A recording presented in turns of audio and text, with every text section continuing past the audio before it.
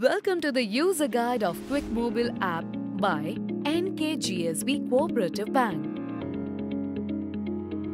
Want to stop check payment? Here is how you can do it. Open Quick Mobil app. Click on Services. Then click on Stop Check. Select your account and fill the check number.